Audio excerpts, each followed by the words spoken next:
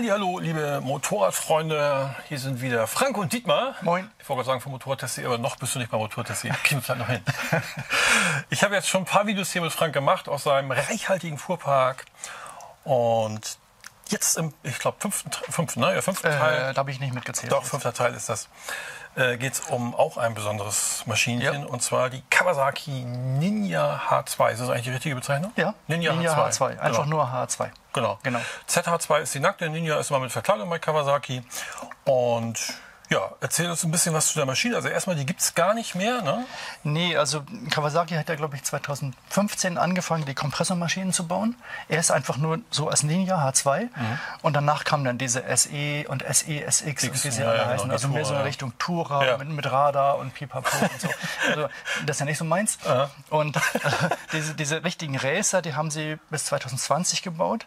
Bis 2018 lief die Maschine mit 200 PS. Mhm. Und ist eigentlich ist es ja eine Ableitung aus dieser berühmten H2R. Ja. Die mit 300 Mit PS 300 läuft, PS, aber ja, ohne ja. Straßenzulassung. Und diese hat eine Straßenzulassung und wurde dann ursprünglich auf 200 PS gedrosselt, bis dann Kawasaki gemerkt hat, dass die normalen Sportmaschinen auch in die Größenordnung Genau. kamen. 205 Und dann haben sie noch mal ein bisschen am Mapping gedreht. Ja. Und diese von 2019 läuft jetzt mit 231 PS, beziehungsweise Kawasaki gibt mit RAM-Air-Effekt 243 PS an. Und das genügt. Und die, die Besonderheit Mhm. Gerade ist üben. eben, dass der Kompressormotor das nicht nur über die Drehzahl macht, sondern durch den Ladedruck. Und das führt zu einem guten Drehmoment. Sag mal gut, klingt so. Die hat 140 Newtonmeter Drehmoment. Und wenn man die normalen Supersportler, auch die neuen anguckt, die haben alle 100, 110. Ja, hör auch die neuen Ducatis haben 110, glaube ich. Ja, vor allem, die, die haben ja ihre Leistung alle erst oben. Ne? Also das Genau. ist ja irgendwie, wenn du eine Fireblade, bin ich letztes auch mal wieder gefahren, so eine Triple R, irgendwie, natürlich geht das ab wie Schmitz Katze, Ja. aber erst ab Bei 10.000 Ja, ne? vorher ist irgendwie, herzlich, na, herzlich wenig, wollen wir nicht untertreiben, aber das ist hier, ja, Kompressor. Vielleicht die Leute, die nicht wissen, wo der Unterschied ist zwischen Turbo und Kompressor, Also Kompressorantrieb, das sieht man hier. Das ist hier am Motor oben drauf, eine Turbine, die mechanisch angetrieben wird von dem Motor selber. Da ist ein Kettenantrieb und das ist dann äh, eine Aufladung, die dafür sorgt, dass die Brennluft in einen Aluminium-Luftfilterkasten gezogen wird und von da dann unter Druck steht und in den Motor reingepumpt Ja. wird. Ähnlich wie ein Turbolader. ähnlich wie ein Turbo, aber, Turbolader aber läuft über. Abgas Genau, genau. und der ist mechanisch angetrieben. Genau. Also eigentlich das Ding heißt im Englischen Supercharger und das andere heißt Turbocharger. Genau. Das heißt, im Grunde genommen, äh, wie wirkt sich das aus? Ein Turbolader, gut, so viele Maschinen mit Turbo gibt es ja gar in den nicht. 80ern, hat nicht funktioniert. Nee, hat nicht funktioniert, genau. Genau, wegen des Turbolochs, das ist hier halt anders. Das gibt es hier nicht. Hier gibt es gar kein Loch. Ja. Also wir sind ja so ein paar Z, also ein paar Kompressormaschinen auch schon gefahren hier von Kawa, die Dinger. Und ich, ich muss echt sagen, also einmal waren wir, glaube ich, auf der Autobahn auch und Ja. haben wir einmal alles gegeben, das Ja. haben wir aber nicht gefilmt. Aber ich bin echt abgestiegen. Ich hatte wirklich weiche Knie. Ja, also- das habe ich echt selten. Äh, das ist schon, äh, da muss man schon so ein, ja. Oder nein, Es ist nicht grenzwertig, es ist definitiv drüber. Also zu viel des Guten. Man es muss- ist zu viel des man muss Sagt natürlich jeder jetzt hier YouTuber. Was erzählen die da? Von wegen, es ist zu viel Leistung. Aber wenn man mit dem Ding auf der Landstraße rumfährt und mit dem vielen Drehmoment, das ist, ich sage immer zu meiner Frau, das ist, kennst du Punika, diese Ja. alten Flaschen? Ja. Es ist wie Punika aus der Flasche trinken. wenn du dir das Ding vom Kopf hältst Ja. und dich nicht bekleckern willst. So ist es mit dem Ding zu fahren. Du musst so vorsichtig sein. das. Ding fordert wirklich viel Konzentration. Und ich habe ja immer Spitznamen für die Maschinen. Dieses hier nenne ich der Rottweiler. Weil es, es ist wirklich bissig. Und du musst ja eigentlich mal fahren, aber du wirst merken, Das habe ich heute schon ein paar Mal gehört. du musst eigentlich musst vorsichtig sein. Die Ja, ganze ja. Zeit. Immer permanent vorsichtig sein. Immer am besten zwei Finger auf die Bremse legen, damit man nicht am Gas ruckelt. Das mag sie nicht, dann springt sie einfach los. Und die springt nämlich nicht bei 10.000 Umdrehungen, die springt auch schon bei 3.000, 4.000 Umdrehungen einfach nach vorne. Und, aber auf der anderen Seite ist das natürlich einmalig und ein sensationelles Fahrgefühl. Ja, also ich weiß, wir, wir, wir, na, wir streiten nicht, aber wir haben immer so bei uns auch im Team unterschiedliche Auffassungen von, wie viel Leistung muss ein Motorrad haben. Ne? So, Grundkonsens ist irgendwie 100, 100. 100 PS, 100 Newtonmeter. Ja, also das ist irgendwie solide, da Ja. kommst du, ne, so. Und ähm, dann gibt es so ein paar bei uns im Team, die sagen, also äh, 70 PS ist eigentlich genug und alles über 100 ist viel zu viel und ab 150 hört sowieso auf. Ja.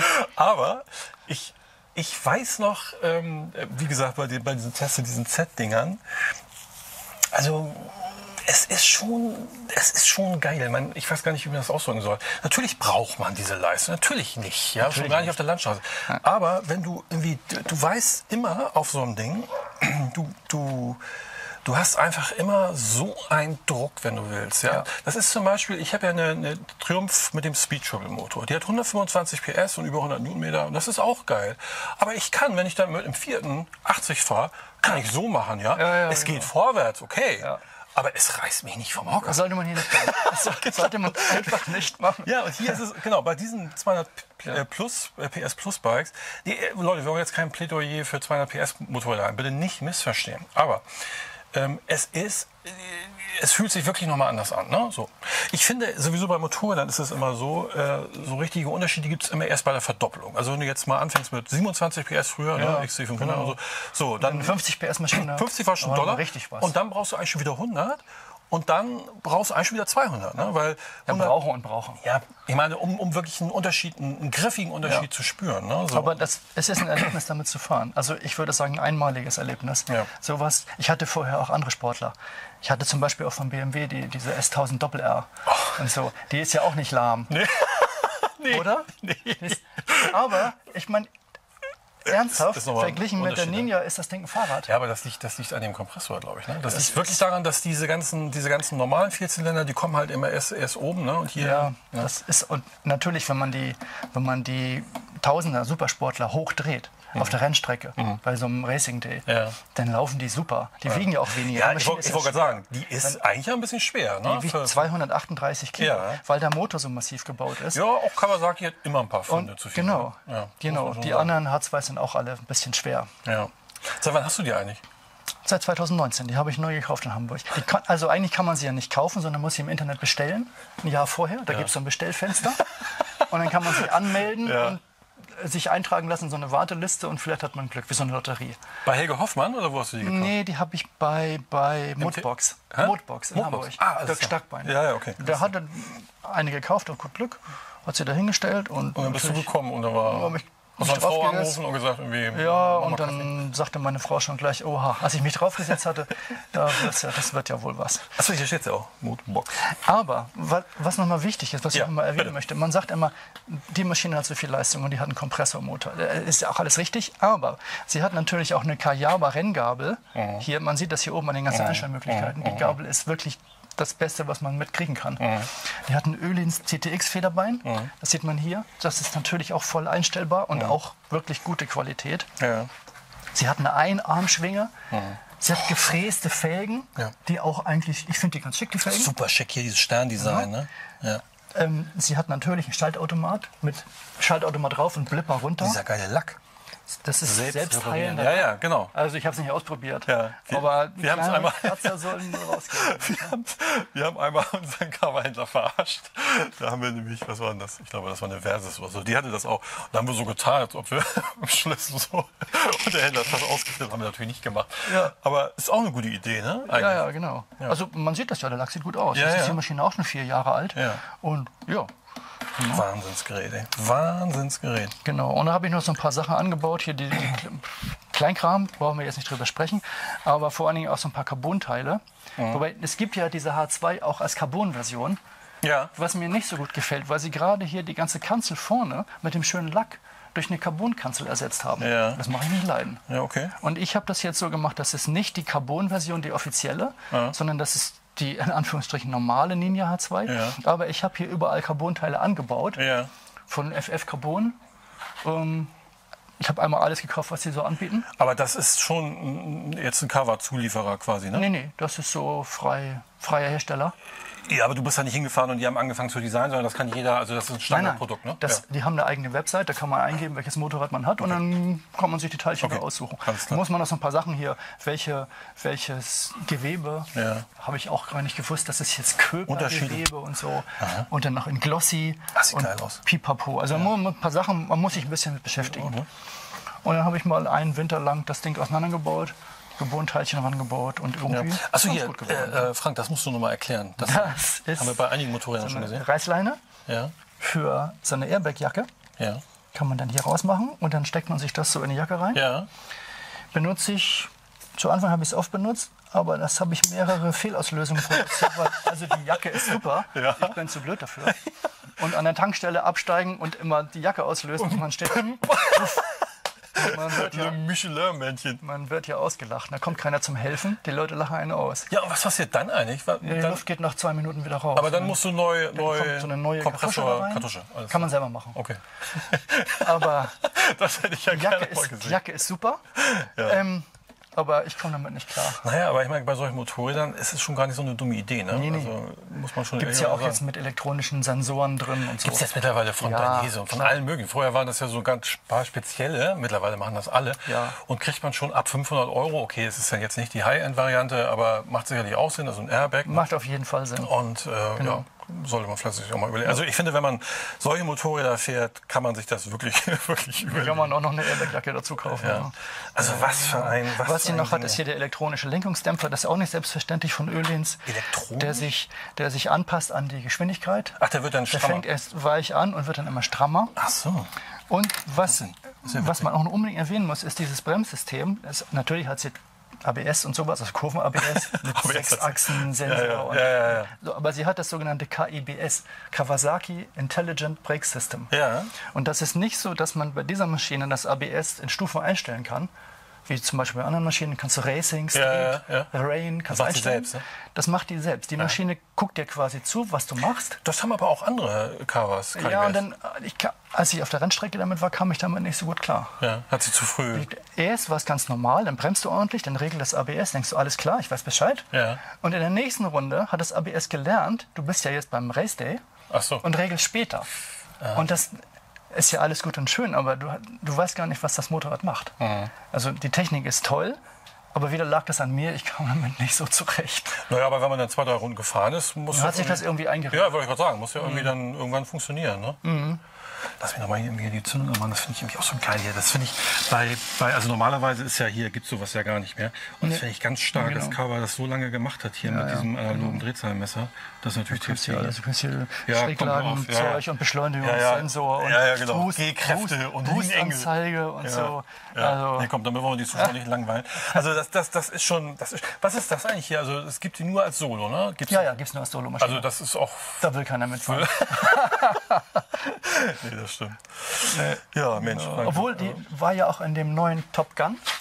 Ja, im Und Film, ja. In dem Film. Ja. Dann gab es ja den ersten Top Gun. Ja. Da hat ja Tom Cruise die noch PPZ 900. 900 Genau, gefahren. ja. Und in dem neuen Top Gun fährt Maverick jetzt mit einer H2. Hab ich gesehen. Und witzigerweise nimmt er auch mal seine Freundin mit.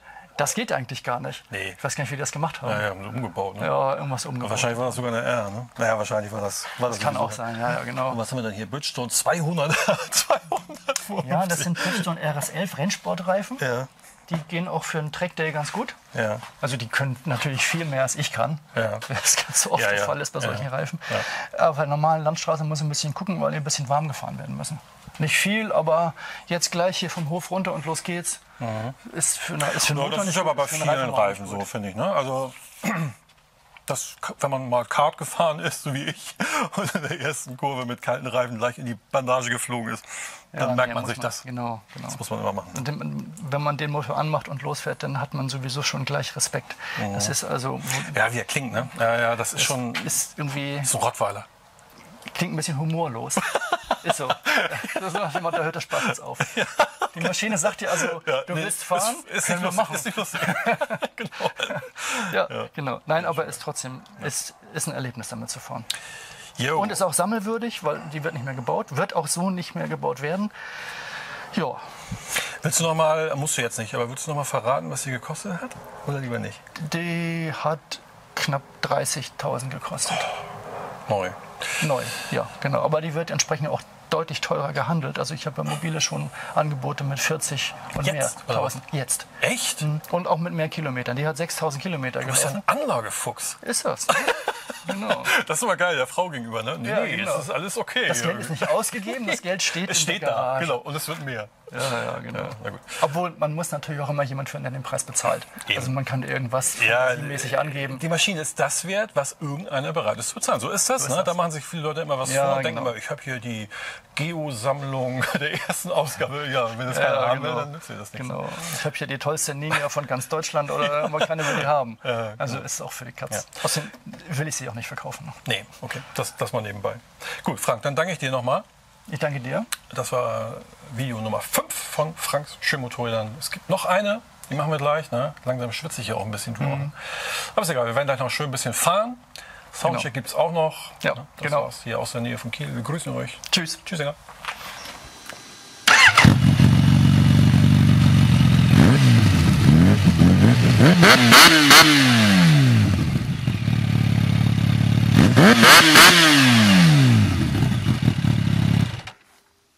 Frank hat doch ein bisschen Angst.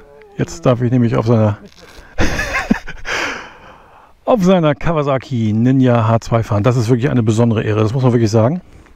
Also bitte, wer von euch ist schon mal eine Ninja H2 gefahren mit 230 PS? Bitte mal die Arme heben. Ah, ich sehe keine Arme. Also keiner. Ich hingegen mach das jetzt. habe allerdings auch die Hosen gestrichen voll. Aber das habe ich mir irgendwie abgewöhnt im Laufe der Jahre, daran zu denken, dass ich die Hosen voll habe. Also, ich setze mich jetzt hier drauf und fahre gleich eine Ninja H2. Ich habe jetzt Frank nochmal gesagt, bitte nicht so schnell, weil ich einfach wirklich Respekt habe. Das nimmt mir hoffentlich keiner übel. So, ja, dann würde ich mal sagen, Motor an. Mal gucken, mein Hintermann überholt mich jetzt gleich und dann fahren wir auch schon los. Ne? Blick nach hinten ist übrigens überraschend gut.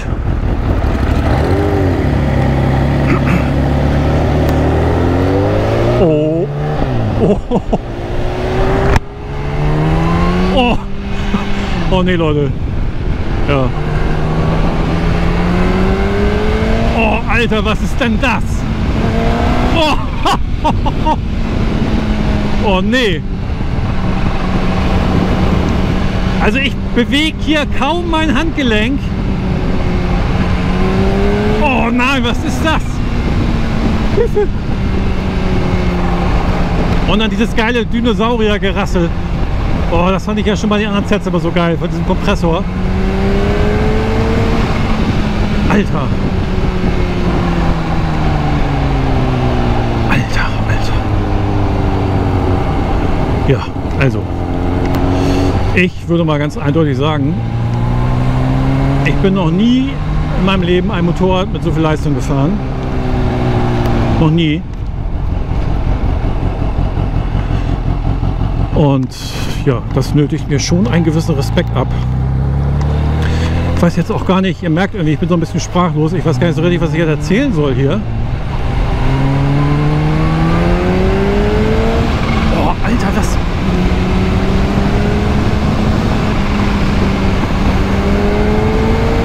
Oh nee, ne? Also das ist wirklich waffenscheinpflichtig hier, das Gerät. Und ehrlich gesagt, ich habe jetzt auch doch ein bisschen Angst, muss ich wirklich sagen. Also es hört sich komisch an. Aber es ist so. Frank da vorne, der gibt auch nicht Gas, weil er mir wahrscheinlich dieses Vergnügen ermöglichen will. Aber ich habe einfach Schiss. Sorry. Oh, ein Glück eine 50er-Zone. Ich bin so, oh, eine 30er, herrlich. Ich bin so glücklich. Mann. Ja, eh, okay, ich höre jetzt mal auf. Ich, äh, ich weiß nicht, was ich sagen soll. Ich weiß nicht, was ich sagen soll. Ähm, das ist kein Motorrad. Das ist ein Tornado. Nee, ein Tornado ist zu langsam. Das ist ein Eurofighter. Ist ja eigentlich schneller. Wahrscheinlich auch noch, auch noch zu langsam. Also sowas habe ich noch nie erlebt. Und ähm, aber was ich noch mal sagen muss, ist, das finde ich auch so geil. Jetzt fahren wir ja hier so langsam und wie kultiviert der ist der Motor. Also der, da rappelt gar nichts, kein Kette schlagen, kein gar nichts. So, jetzt fahre ich mal hier im dritten los. Boah. Und selbst da ist das so, wenn man bei Standgas im dritten losfährt und Gas gibt. Oh, Oh nein, nein, nein, nein, nein, nein, nicht Gas geben, Dietmar, nein, nicht Gas geben, nicht Gas geben. Ich habe jetzt gar nicht, ich hatte gar nicht die Zeit jetzt ehrlich gesagt auf die Geschwindigkeit zu gucken. Ich hoffe, ich bin jetzt nicht zu viel zu schnell gefahren. Aber das ist ja mit dem Motorrad, wie soll man denn da bitte die Straßenverkehrsordnung einhalten? Das geht nicht. Also, liebe Polizisten, wann immer ihr mal jemanden anhaltet mit diesem Motorrad, habt bitte Nachsehen. Der kann nichts dafür. Das Motorrad kann nicht langsamer als 100 fahren. Das geht gar nicht. Mann, Mann, Mann, Mann, Mann, Mann, Mann, Mann. Ich nehme alles zurück, was ich jemals bei irgendwelchen Motorrädern mit viel Leistung gesagt habe, dass nicht mehr gehen würde. Ich nehme alles zurück. Es geht mehr. Kawasaki Ninja H2. so, jetzt habe ich mich richtig zum Affen gemacht. Ist mir scheißegal, was ihr darüber denkt. Ist mir echt egal. Kann auch keiner nachvollziehen. Kann keiner nachvollziehen, glaube ich, der dieses Bike nicht mal gefahren ist. Tut mir echt leid, dass das so ein bisschen albern wahrscheinlich rübergekommen ist, aber das kann nur derjenige nachvollziehen, der dieses Motorrad gefahren ist. Kann man, glaube ich, so auf den Punkt bringen. Ich bin völlig fertig, hellauf begeistert. Na, die Alarm enden. Und äh, ja, ich muss alles nochmal revidieren und neu überdenken, was ich zum Thema Motorradleistung bisher so in Videos mal gesagt haben sollte. Das hier ist der Gipfel des Gipfels der, des Himalayas. Ganz oben. Ganz geil. Ja, das war's. Ähm, mit diesem krassen Erlebnis. Ich hoffe, ihr konntet ein bisschen was mitempfinden hier während des Videos. Stramme Angelegenheit. Tschüss.